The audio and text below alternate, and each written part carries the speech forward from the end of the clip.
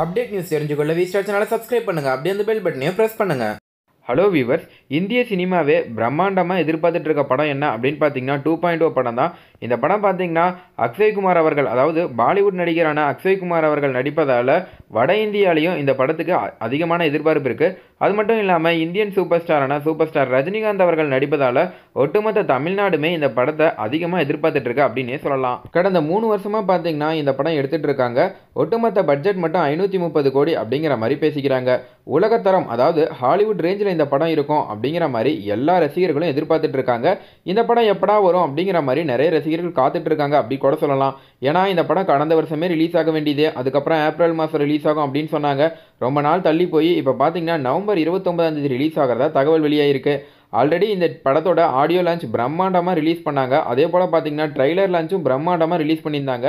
படமும் அப்போ பிரம்மாண்டமாக தான் இருக்கும். எதுக்கு இத்தனை பிரம்மாண்டம் அப்படின்னு கேட்டிங்கன்னா இந்த படத்தோட இயக்குனர் யாருன்னா பிரம்மாண்ட இயக்குனர் சங்கர் அவர்கள் தான். இவ்வளோ கோடி பட்ஜெட்டில் எடுத்த படம் கிராஃபிக்ஸ் காட்சி கொஞ்சம் குறைவாக இருக்குது அப்படிங்கிற மாதிரி ரசிகர்களிடையே விமர்சனம் பெற்றது.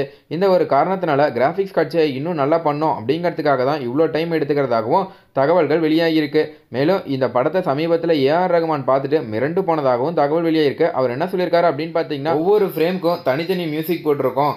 மேலும் பார்த்தீங்கன்னா சங்கர் சார் என்ன சொன்னார்னா ஒவ்வொரு ஃப்ரேமுக்குமே உயிர் கொடுக்கணும் அப்படிங்கிற மாதிரி சொல்லியிருந்தாரு.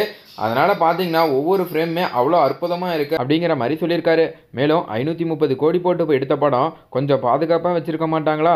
இதற்கு முன்னாடி பார்த்தீங்கன்னா டீசரை வந்து படக்குழுக்கு போட்டு காமிக்கும் போது அவங்க யாரோ அதை ஃபோன் கேமராவில் எடுத்து யூடியூப்பில் ரிலீஸ் பண்ணிட்டாங்க. இதை நம்ம ஆல்ரெடி பார்த்துருப்போம்.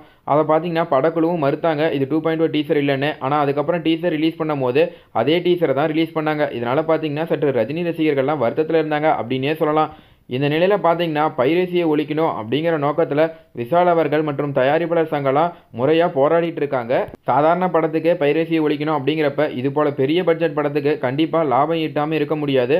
அதனால் கண்டிப்பாக பார்த்தீங்கன்னா இவங்க பைரசியை ஒழிச்சே ஆகணும். ஆனால் படம் ரிலீஸ் ஆகாததுக்கு முன்னாடி இருபது நாளைக்கு முன்னாடியே பார்த்தீங்கன்னா தமிழ் ராக்கர்ஸ்லேருந்து ஒரு எச்சரிக்கை வந்திருக்கு. அதில் என்ன வந்திருக்கு அப்படின்னு பார்த்தீங்கன்னா நெக்ஸ்ட் டூ பாயிண்ட் ஓ தான் லான்ச் பண்ண போகிறோம் அப்படிங்கிற மாதிரி ஒரு அதிர்ச்சியான தகவலை வெளியிட்டிருக்காங்க.